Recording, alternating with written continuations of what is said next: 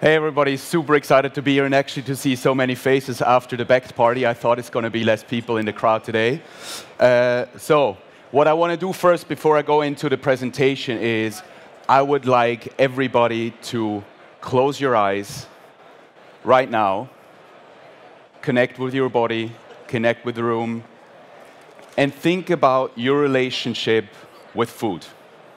Think about your childhood Think about your favorite dishes you grew up with, and a family and friends you spent those very, very precious moments with. What flavors and scents come to mind? What can you taste? What can you smell? Think about those products. What does come up for you? Our relationship with food is a reflection of us being biological organisms, psychological organisms. It's a reflection of our memories, of our preferences. At its core, it's just deeply human. We all care and love food. So, with that emotion that you just connected with, I want you to open your eyes and see the reality that we have today. It's actually super crazy that the thing that we all care about so much, that we all love so much, food, when we look at how we produce it today, how we distribute it today, it's completely different from our emotions. It's extractive, and the system that we have put around it is not resilient at all and not caring at all. And we see it every day with the pandemic, with the war in Ukraine. We see so much pressure on a production system that is keeping up with so many challenges, but we cannot keep up. And the pressure is getting only worse and worse. So the thing that we love so much has become a sign of destruction, of cruelty, and it's not getting better because agriculture is the leading contributor to climate change. And climate change will, again, completely disrupt the way we need to produce food. And since we are at Slush, I don't think it's a surprise to anybody that the biggest issue that we have, or the biggest part of the issue, is actually animal mass factory farming. Animal factory farming consumes 30% of fresh water today. Animal factory farming uses 80% of farmland while only giving us 20% of calories animal factory farming, according to the UN, very conservative numbers here, is responsible for 15% of anthropogenic or man made greenhouse gas emissions. So the message is very clear. We have these products we love that we connect with, but we have a system that is reaching its limits, and we have to drastically reduce our dependencies on animals to produce these products. The issue, obviously, being when we look at the picture, this is already mouth-watering. We are, as we already explored, we're psychological, emotional beings, and we connect so many great memories with the foods we consume on a daily basis. It's part of our identity, it's part of our culture, and it's just not easy to say, you know what, this is not good, just give it up tomorrow, right? And also specifically in our understanding of how we want to live together in society, prohibition also won't work dairy specifically would be a super important thing to get rid of the animals. Why? Because just as a reference here, the dairy industry contributes or is responsible for as much greenhouse gas emissions as the whole shipping and the whole aviation industry together. All planes, all ships, equal to dairy. It's insane.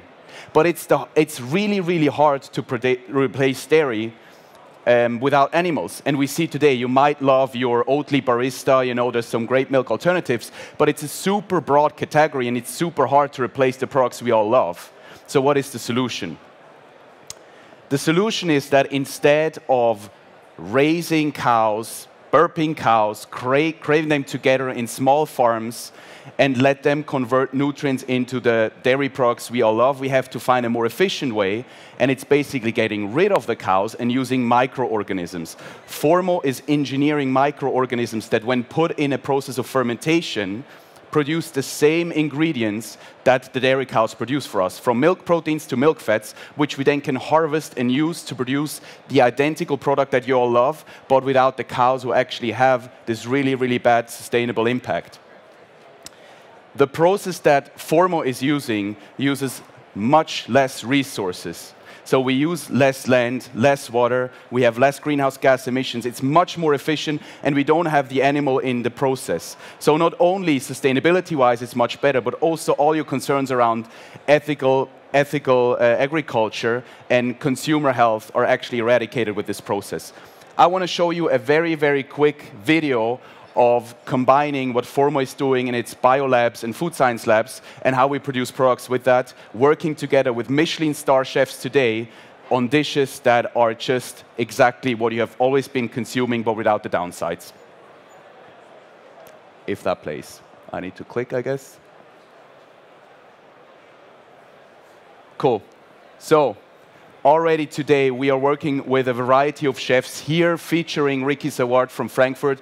He was actually the world's first fully plant-based Michelin star chef, sourcing all of his ingredients from only a radius of 20 kilometers around his restaurant. He has not been using any animal ingredients in his kitchen, but working with us, he basically can now go back to the foods that have been part of our cultures for millennia and produce completely new structures, flavors, and amazing consumers in his restaurant and all around the globe. It's super cool to see because we have set out to change this industry and getting the feedback also from high-end cuisine that the products we produce really perform the exactly same way. It's just amazing to see. And as you can already see from the presentation, the products that Formo is mostly focusing on is cheese. As I said before, milk alternatives already exist. It's much easier to basically replace. But the holy grail, and I think this goes for most also flexitarians in the room, is how do we replace cheese? Since this is a launch presentation, I want now to reveal that Formo is going to be the first company to actually place animal-free cheese in the market that really deserves the name cheese. This selection, as you can see, is a variety of products that we will launch, ranging from fresh spreads to soft cheeses, camembert-like, chèvre-like cheeses, but also aged and blue cheeses that taste and feel exactly like the products you love, but without the downsides. We at Formo believe that the time is ripe for animal-free, also in cheese, we're using science to produce it in a better way.